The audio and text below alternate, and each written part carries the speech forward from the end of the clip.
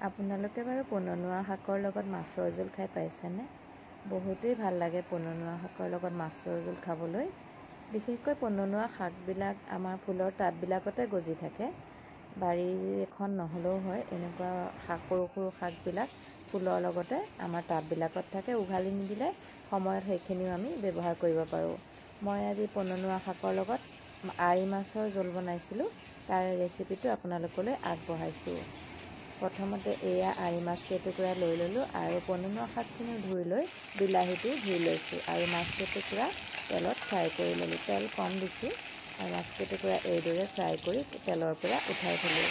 আৰু সেইটো কেৰাহীতে মেথি কেইটামান ফুটাই তাতে বিলাহীটো কাটি ভাজি ল'লোঁ আৰু এতিয়া শাকখিনিও মিহিকৈ কাটি ল'ম।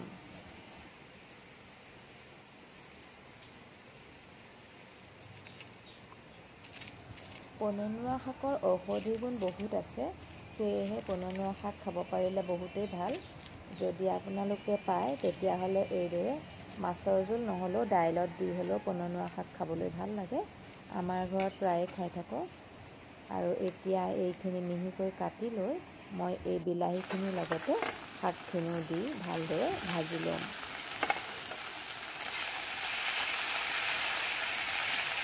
একেবাৰে সাধাৰণভাৱে বনোৱা। ইয়াত একো মছলা ব্যৱহাৰ কৰা নাই। মাত্ৰ মেথি কেইটামান দিয়ে মই এই মাছৰ জোলখন বনাইছোঁ। গৰমত এইদৰে খাবলৈ ভাল লাগে আৰু মই ইয়াতে দিছোঁ তেলতে হালধি আৰু নিমখো দি দিলোঁ। মানে তেলত ভাজি থকা অৱস্থাতে হালধি নিমখ দি দিলোঁ। আৰু এতিয়া এইখিনি ভালদৰে লৰাই ঢাকনিখন মাৰি কম জুইত সিজিবলৈ দিম। আৰু এয়া আমাৰ বিলাহীৰে সৈতে শাকখিনি প্ৰায় সিজি আহিছে। পানী নিদিয়াকৈ বিলাহীটোৰ পৰাই কোমল হৈ মাছখিনি শাকখিনি সিজি গৈছে। আৰু যদি এইখিনিতে অকণমান বেছি টেঙা খাওঁ বুলি ভাবে তেতিয়াহ'লে আপুনি জোলকণত অকণমান নেমু চেপি দিলে আৰুৱে সুস্বাদু হয়। আৰু ইয়াতে মই এতিয়া আন্দাজমতে গৰম পানী দি দিলোঁ। আৰু গৰম পানী দি ভালদৰে উতলিবলৈ দিলোঁ। আৰু ভালদৰে উতলি থাকোঁতেই আমাৰ ভাজি ৰখা মাছ কেইপিচ দি দিলোঁ। মাছ কেইপিচ দি প্ৰায় পাঁচ মিনিটমান কম জুইত উতলিবলৈ দিলোঁ যেতিয়ালৈকে আমাৰ মাছৰ ৰসটো জোলখিনিত ওলাই নাযায়। মাছৰ জোল বনালে সাধাৰণতে মাছকেইটুকুৰা কোমল হোৱালৈকে জোলকণ উতলাই থাকিব লাগে তেতিয়া জোলকণৰ সোৱাদটো বেছি ভাল হয়।